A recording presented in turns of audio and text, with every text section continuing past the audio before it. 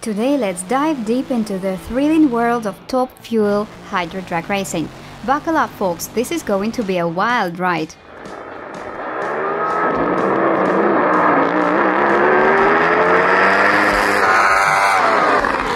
You might have guessed from the Hydro in its name that these races happen on water, and the Tom Top Fuel it indicates that these boats have something in common with the elite category of drag racing. This means they boast a powerful V8 engine with a whopping 8.2 liters enhanced with a supercharger to gulp down tons of air. All fueled by nitromethane. I said only pussies run nitro meth. Now, while our man Toretto might not approve of nitromethane, you need to achieve a jaw-dropping 10,000 horsepower. Compared to gasoline, nitromethane needs 9 times less air for combustion, doubling the power output. But there's a catch. Nitromethane has a lower density, so the actual increase in power is about 2.3 times that of gasoline.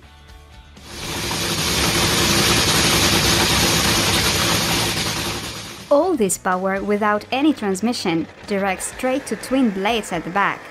These blades spin tens of thousands of RPMs in a split second, shooting out a massive jet of water behind.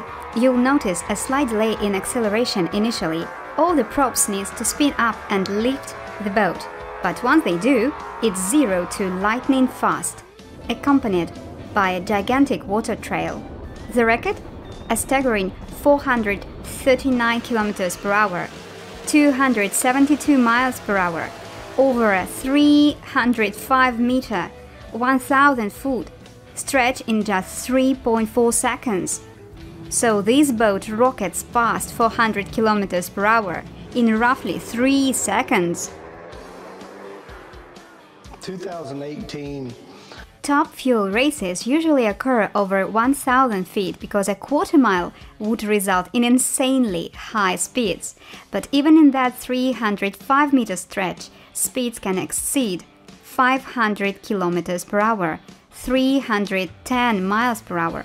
With top fuel Hydro, water resistance plays a part slightly lower in the speeds, like its land counterpart. There is no cooling system because the race is so brief, but these guys from Thailand are incomparable.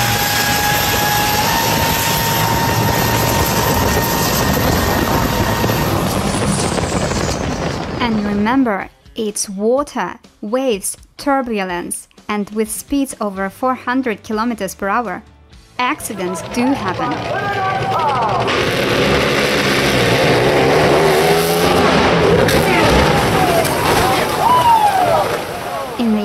What we've got here is a sleek carbon fiber vessel strapped with a nitromethane fueled V8 monster pushing over 10,000 horsepower. In a single run, it guzzles down 45 liters of nitromethane. The pilot? They endure over 4.5 G for around 1.5 seconds. Imagine suddenly weighing 4.5 times your normal weight. And for braking, three parachutes do the trick. But what happens if a parachute doesn't deploy? Till then, stay tuned and keep your throttle open.